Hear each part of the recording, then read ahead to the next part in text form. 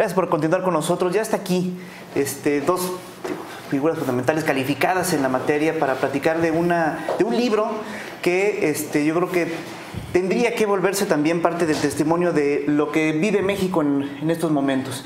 José Luis Romero Hicks, muchas gracias por venir. Gracias por la invitación, siempre encantado de estar en Zona Franca. Sí, y Mario Velasco. Gracias, Javier. A ti y a todo tu amplio auditorio. No, bueno, bienvenidos los dos. Gracias. Platíquenos un poco de este libro. Es la construcción de una obra que este, desde que me la platicaron vía telefónica, desde ahí este, pues, las antenas de, periodistas me dijo, este libro es este, un documento fehaciente de una realidad pública, quizás una tragedia pública que se vive en México. Fíjate que no solo en México, sino en todo el mundo. Sí, es un fenómeno. En realidad, este, este libro, que es una idea que se nos ocurrió a Mario Velasco Torres de la Vega, otro grupo de amigos y a mí, era precisamente porque empezamos a notar que en la campaña, sobre todo en la campaña nacional, más que en la, local, en, en la estatal, el tema de la corrupción estaba volviendo un tema de campaña y un tema del sentimiento de cómo podría votar el electorado. Yo quiero pensar que parte del resultado de por qué gana López Obrador es un sentimiento de hartazgo, entre otros temas sobre la corrupción y la impunidad. Sí. Entonces, este es un libro que creo que es interesante porque más allá de solo hablar del Sistema Nacional Anticorrupción, que creo que la mayor parte de la literatura y la reflexión se ha centrado en ese tema, y ahorita te platico una historia de Mario Velasco, este, quisimos invitar a un grupo de conocidos y amigos de los dos para que escribiéramos ensayos cortos y con reglas eh, claras de precisión para hablar de diferentes facetas de la corrupción. Entonces, este libro que se llama Contra la Oscuridad, bueno, no es ningún secreto, el, título está inspirado porque la corrupción, que es un delito este, de consenso, pues se hace en lo oscurito. Entonces, de lo que se trata es que sea contra la oscuridad y por eso se llama en, este, Contra la Oscuridad, ensayo sobre la corrupción. Tiene un autor argentino este, y otros autores, por ejemplo, de Guanajuato, eh, Eduardo Sojo, quien fuera secretario de Economía del país, quien fuera presidente del INEGI, escribe. Eh, quisimos que se viera no solo el, aspecto económico, los costos de la, de la, corrupción, que es donde yo también participo, sino hablar de la psicología de la corrupción. Entonces, por ejemplo, Tere Vale, que es doctora en, en psicología y que en otro espacio los lunes este, está conmigo con Ruiz Gili ahí echando relajo los lunes. Este, ella escribe sobre la psicología de la corrupción. El hoy procurador este, en el estado de Hidalgo también es otro de los eh, coautores. En fin, hay una serie de enfoques que tocan la corrupción desde el ángulo economicista, político, social, psicológico, jurídico. Se habla de la corrupción en el Poder Judicial, en los municipios, eh, en fin, me parece que al lector lo que le presenta este libro, sobre todo es la facilidad de que si no le gusta lo que está leyendo, pues se brinca al siguiente, autor. ¿no? Entonces, es un libro para entender el fenómeno de la corrupción. Se habla mucho, evidentemente, de la impunidad, que es la prima hermana de la corrupción, o se podría decir que la madrastra, porque parecería que la impunidad es el mal original y la corrupción es una de las consecuencias. Eh, hoy lo presentamos eh, Mario y yo en la Universidad Quetzalcóatl de Irapuato y nos encanta estar ahora aquí en León. Y, aquí en León está accesible, déjame meterles un gol. Adelante, adelante. En, la librería El Sótano, este, que está aquí en Boulevard Campestre 804, en la colonia este, Jardines del Moral. Entonces, es un libro fresco y, y además invitamos para que escribiera el prólogo a otro mexicano que goza de un prestigio internacional muy bueno y muy bien ganado, que es el secretario general de la Organización para la Cooperación Económica y el Desarrollo con sede en París, en Francia, que es José Ángel Gurría, quien fuera secretario de Hacienda y secretario de Relaciones Exteriores, entre muchos cargos importantes que ha ocupado. El prólogo es de Gurría y somos nueve coautores este, de la obra y los compiladores somos Mario Velasco y tu servidor. De acuerdísimo. pues un libro que se antoja interesante, pero por la eh, la participación de los actores viven de cerca, ¿no? Evidentemente el ejercicio público, Mario. Este, viven de cerca del ejercicio público, lo conocen. Este, yo me imagino que han atestiguado este, casos este, por demás abundantes, pero que al final este, son complejos en sí mismos. Digo, el fenómeno de la corrupción en México ha encontrado caminos completamente insospechados. Y unos no tan insospechados, unos más bien sospechados. Sí, sí, sí. Y por todos los Algunos estados y regiones. Muy corrientes, más corrientes Sí, que comunes, ¿no? Y unos más, mucho más comunes que corrientes. Yo creo que lo que dicen es muy importante. Ya José Luis te describió con mucha precisión la estructura del libro y el porqué y las razones. Creo que es un esfuerzo importante que, como bien dijo José Luis, convoca a, a varios personajes para que dé un enfoque interdisciplinario. Y además, pues muchas mujeres también que desde la academia, como Ileana Rodríguez Santibáñez, que fue directora de Ciencia Política y Derecho del TEC de Monterrey, la senadora Lilia Merodio, ya no es senadora, pero era secretaria de la Comisión Anticorrupción Tereval, es decir, también el enfoque femenino profesional también cuenta en esta etapa porque ellas tienen una experiencia también. Lilia lo vio de cerca cuando se constituyó el sistema. Yo creo que lo que es muy importante, Javier, aquí es que pues la corrupción tiene muchos enfoques, tiene muchas causas y también mucha manera de atacarlas.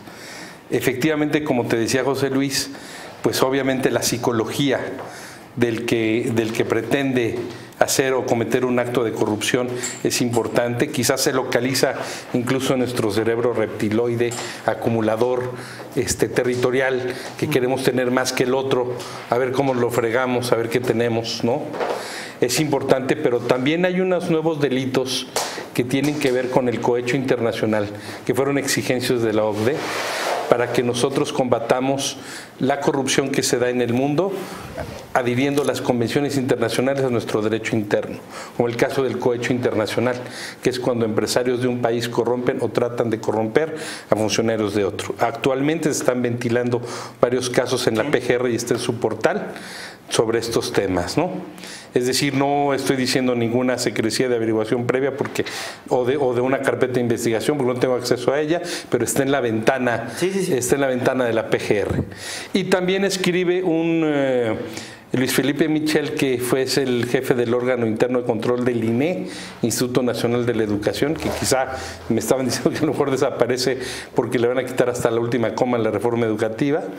Entonces, él escribe sobre la importancia de los órganos internos de control, que a final de cuentas son los que vigilan la actuación del funcionario público. Obviamente también este libro se inscribe un poco en la portada, también este, como mencionaba José Luis, un poco como en las novelas negras. Y se llama Ensayo sobre la corrupción porque hemos encontrado que hay varios libros que se llaman Contra la Oscuridad, pero son de brujería. Hay de un padre Severa Calleja en Chile que trata sobre exorcismos y tiene ya volumen 1, 2 y 3.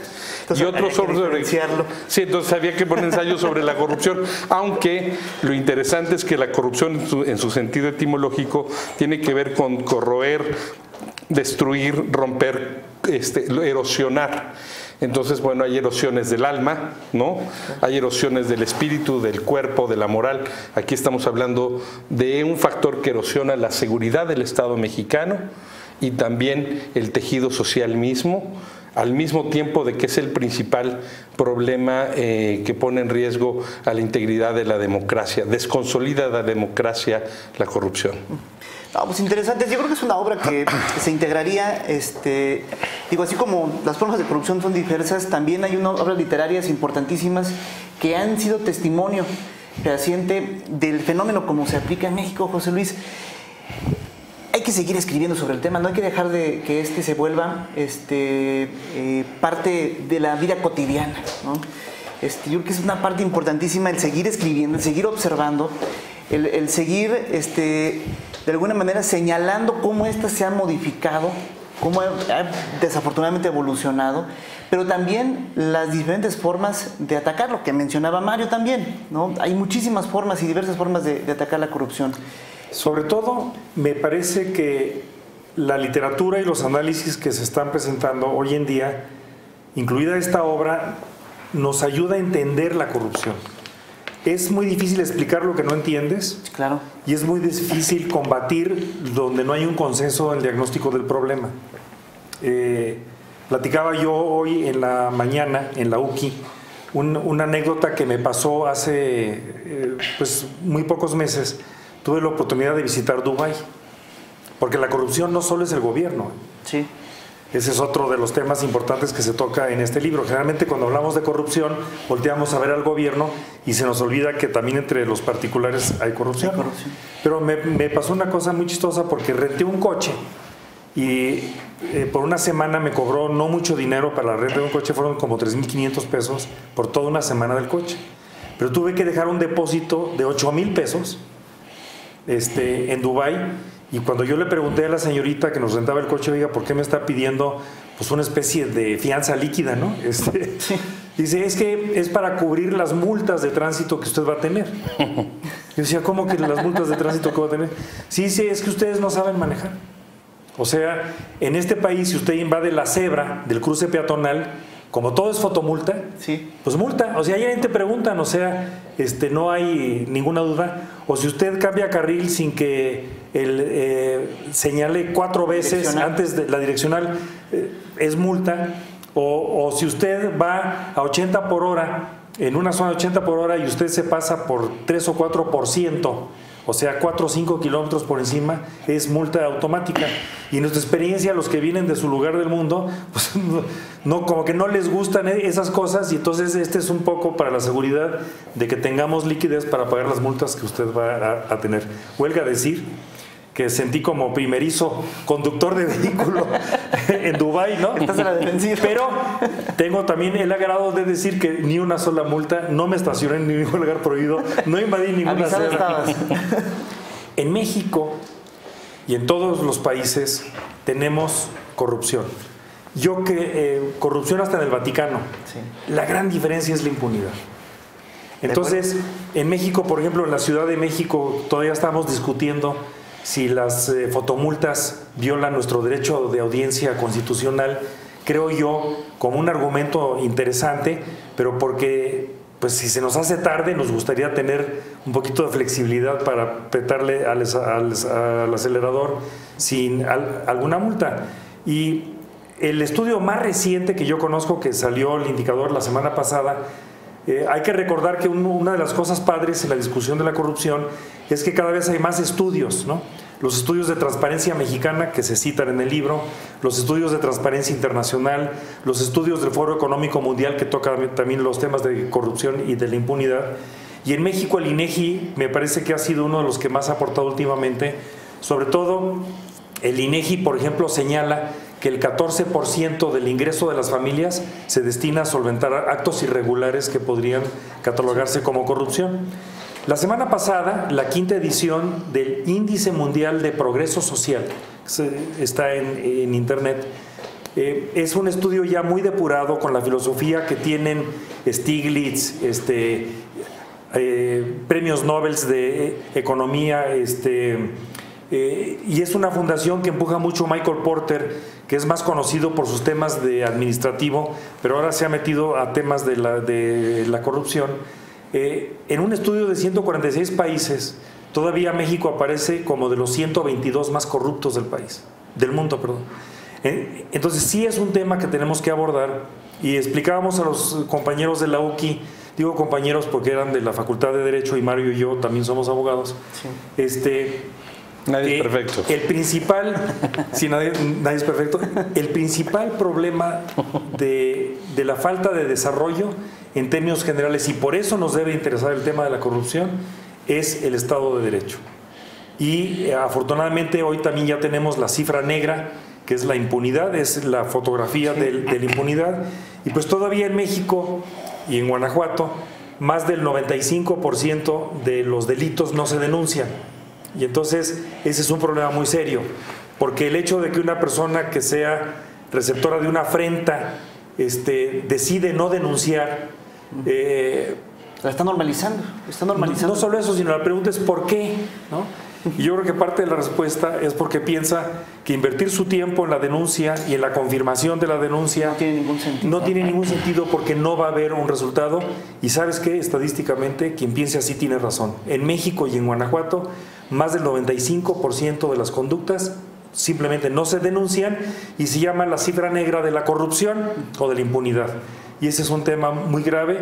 Y bueno, este libro lo que pretende hacer es tratar, como tú me insinuabas en tu pregunta, tratar de entender el, entender el elemento psicológico Eh, por cierto, otro de los autores que no hemos mencionado, Mario, es Enrique Andrade, que es eh, consejero nacional del INE, que es otro de los coautores y que habla de la corrupción en la democracia y en el tema electoral. Y sí me parece que es un tema muy, muy importante porque eh, quien lea la parte de mi ensayo, yo lo que sostengo es que la, la corrupción es el peor enemigo, es el enemigo público número uno, pero es el enemigo público número uno de la falta de productividad es el enemigo público número uno de la democracia, es el enemigo público uno del crecimiento económico y es el enemigo público uno de nuestra integración social. Porque hoy, como diría otro amigo que no vino a esta parte, es muy difícil gobernar bajo sospecha. Así es. Hay una parte que se vuelve abrumadora, que es precisamente la dimensión internacional que tiene México frente a este fenómeno. Es correcto. Este, los niveles de impunidad, evidentemente que es un indicador eh, fundamental. Eh, Mario, tenemos ejemplos de casos terribles de corrupción en México, en Latinoamérica. El caso Oderberg, por ejemplo, se volvió, eh, es un caso que me parece es parámetro de este indicativo que tú mencionas. Es una marca registrada es una de corrupción. Marca, es una marca registrada, nos, pintó de cuerpo entero y nos exhibió a nivel continental. Así es. Entonces, eh, digo, a lo mejor está por demás preguntártelo, pero ¿qué tan a la saga podemos estar en México de estos esquemas este, pues prácticamente de vanguardia, como el ejemplo de Dubái, ¿no? este, como otros ejemplos, Singapur, por ejemplo. Este, digo, es inimaginable. El ciudadano común a lo mejor no entendería en qué dimensión estamos tan atrasados en esa materia. Mira, yo creo que, como te mencionaba José Luis, todas las estimaciones nos colocan ah, en los lugares primeros malamente ¿no? de la corrupción. A nivel Latinoamérica somos el país más corrupto junto con Paraguay, solamente por abajo de Venezuela. Los países menos corruptos de América Latina son Chile y Uruguay, quien precisamente acaba de tener un presidente. curiosamente. Y, Guyana. Entonces, bueno, pero ah, es, la, es la Guyana francesa. Eh, eh, ya ves, ahí tienes otro ejemplo. Pero este, lo que sí está pasando, y ahorita por ejemplo en Uruguay vimos que salió un presidente, acaba de terminar un presidente su gestión de ahorro, de austeridad, que hacía cola en los hospitales de salud, de los servicios sanitarios públicos, para él acceder a su ficha como cualquier ciudadano que tomaba el autobús, público que manejaba un bocho o iba en, en, aviones en vuelos comerciales. Entonces vemos que también hay una respuesta de muchos políticos en el mundo. En, España así pasó con Cambiemos, ¿no? Trataron de dar una imagen de que usaban el metro, no a los choferes, al dispendio, al derroche. Creo que de esa plataforma de la que hablaba también José Luis Romero Hicks en torno que la gente votó por alguien que ofreciera esa alternativa frente al derroche, frente al dispendio y también con el tema de anticorrupción, que aunque todos los candidatos en el pasado proceso electoral. Traían el tema, uno lo traía desde hace 18 años y obviamente pues se legitimó más en el punto. Y lo capitalizó más, ¿no? Lo capitalizó más y mejor.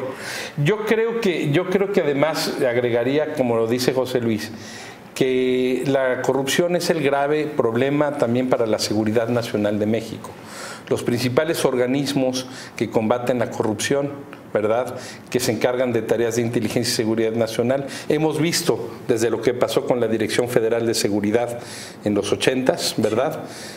y el asesinato de Manuel Buendía y las posteriores crisis de, de, los órganos de inteligencia, pues pudimos ver que siempre está el factor corrosivo de la corrupción.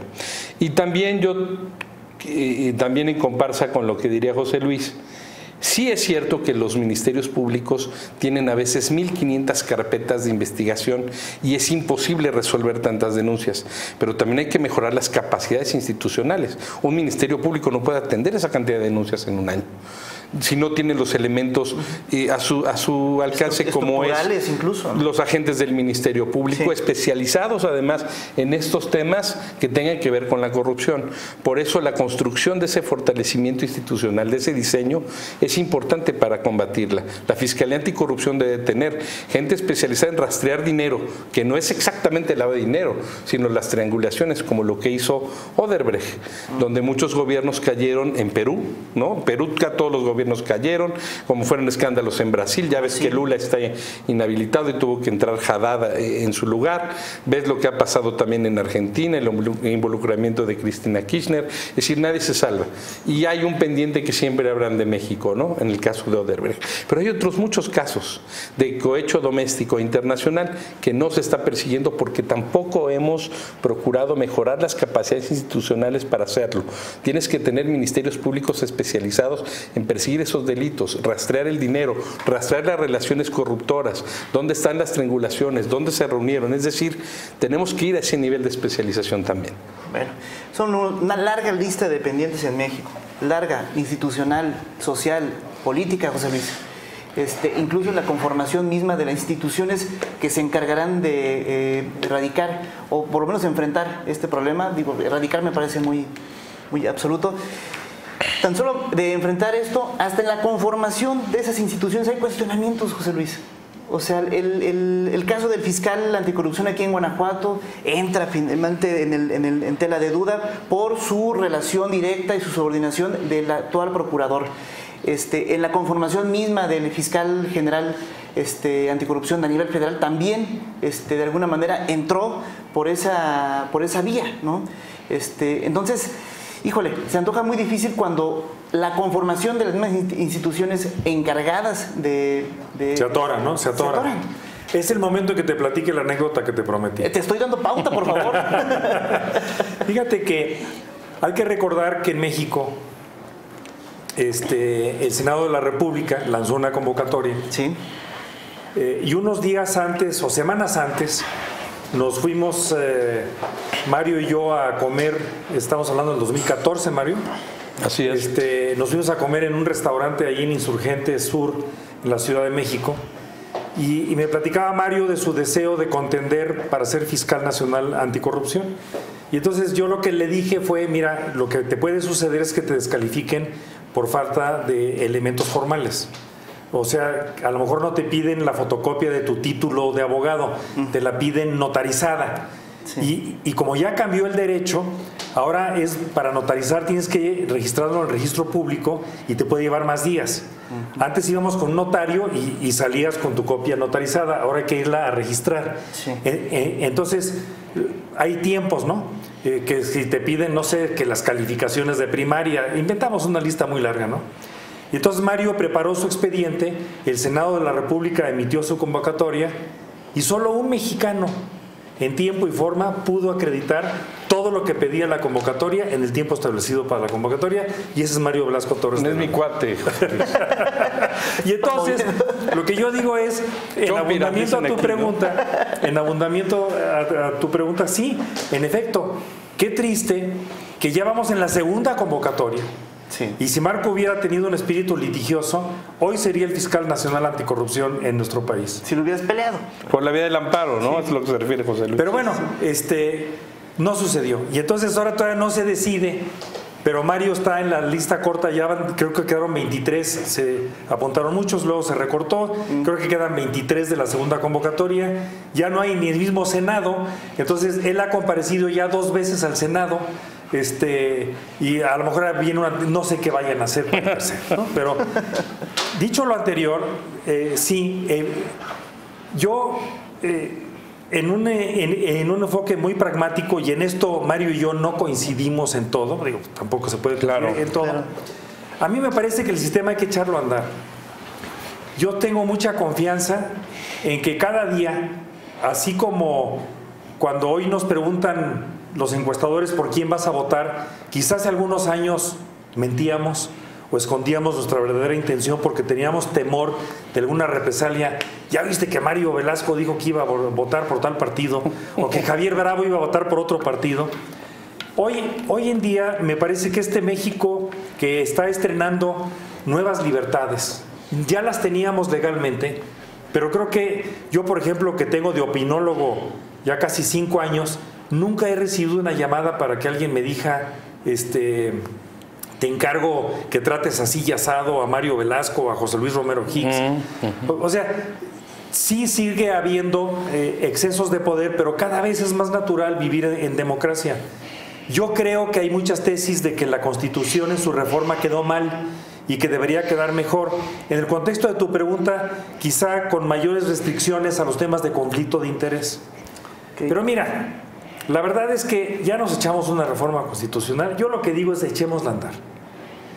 Y si alguien cree que va a durar inamovible en un cargo, porque la Constitución dice que es inamovible por X tiempo, yo quiero recordarnos a todos que esta maravilla de la democracia y de la libertad de opinar, ya lo estamos viendo inclusive en, eh, eh, las reacciones que hay sobre algunas eh, designaciones del presidente electo de México, ya ha habido revires. ¿Por qué? Porque la gente ya nos sentimos con la facilidad de opinar ex ante. Me parece que esta persona no es idónea para ese cargo, para el otro cargo. En fin, a mí me parece que es importante nombrar al fiscal nacional anticorrupción. No sé si vaya a ser Mario Velasco Torres de, La Vega o no, pero sí creo que es importante echarnos para adelante y habrá que recordar que eh, existen métodos de remoción, ¿no? Eh, eh, existen canales de, pesos y de contrapesos, y a final de cuentas, aunque el, 2000, las, próximas elecciones están muy cerca en el 2021, los electores en un mundo donde ya hay reelección, no vamos a, a, votar por la reelección si creemos que los diputados que fueron electos a esta legislatura local y o federal no están cumpliendo con las expectativas. Me parece que es, el primer, es la primera Cámara de Diputados con derecho a la reelección, la federal me, me refiero, y me parece que ya todos los políticos que están tomando estas decisiones caminarán por el fino sendero de lo que es la implicación de la reelección, que es lograr suficiente adhesión y lealtad a mis electores, pero también suficiente adhesión y lealtad a los principios y postulados de mi partido que me llevó a ese cargo, para ver si me gano el derecho de mi partido, para que me postule a la reelección y en caso afirmativo que el electorado también vote por mí. Este México de nuevos pesos y contrapesos con la reelección, a mí me parece que sí sería muy bueno Mira, yo soy de los que opinan, para que digas, no estoy de acuerdo con todo, yo soy de los que opinan que un fiscal nacional anticorrupción ni siquiera debería ser abogado. A lo mejor profesionista sí. Pero yo creo, yo creo que pensar que el fiscal tiene que ser experto en todo lo del derecho penal, digo, tiene que ser un ciudadano, ciudadana con un gran sentido de justicia, con un gran sentido de acopio de los mejores hombres y mujeres para hacer las investigaciones que decía Mario, donde se reunieron en materia de cohecho internacional. Pero a mí me parece que para hacer, para perseguir justicia, no se requiere ser abogado. Pero en fin, hoy el requisito es ser abogado. Este, yo, por ejemplo, estoy seguro que dentro de 20 años seguramente no se, se requerirá. Lo que se requiere son ciudadanos comprometidos con la verdad. Me parece que ser abogado sí es un plus, pero no debe ser un excluyente en mi manera de ver las cosas. Y yo soy abogado, no estoy abogando para que quiten un candado que yo no tuviera este, pasar, ¿no? Pero en fin, eh, es un tema que da para mucho, pero ese es el anécdota de Mario Velasco ya sería el fiscal nacional anticorrupción de tener un Estado de Derecho un poquito más estar pendientes de cómo se... Si no eres rico, ten cuates, decían por ahí. Ah, Yo no soy rico, pero tengo cuates. Con eso, imagínate, pues ya... ¿Para qué necesitas más? Bueno, pues yo les quiero agradecer muchísimo Contra la Oscuridad, un libro de una compilación realizada por José Luis Romero Hicks, Mario Velasco Torres. Este, la verdad es que es un documento más que se agrega a esta bibliografía que ya en México hemos extendido muchísimo sobre la corrupción pero este, que se vuelve también firme tiene un enfoque multidisciplinario, lo mencionábamos bien, tiene actores de la academia, tiene actores también del ámbito público y eso lo hace ser una obra muy rica. Yo este, les quiero agradecer muchísimo que hayan venido a la revista de la UNA. Ya son las casi las tres y media de la tarde, estamos ya por cerrar. Y este, pues antes de irnos, quisiera nada más dar un reporte porque es un hecho este, importante que ocurrió aquí en León hace ya varios minutos.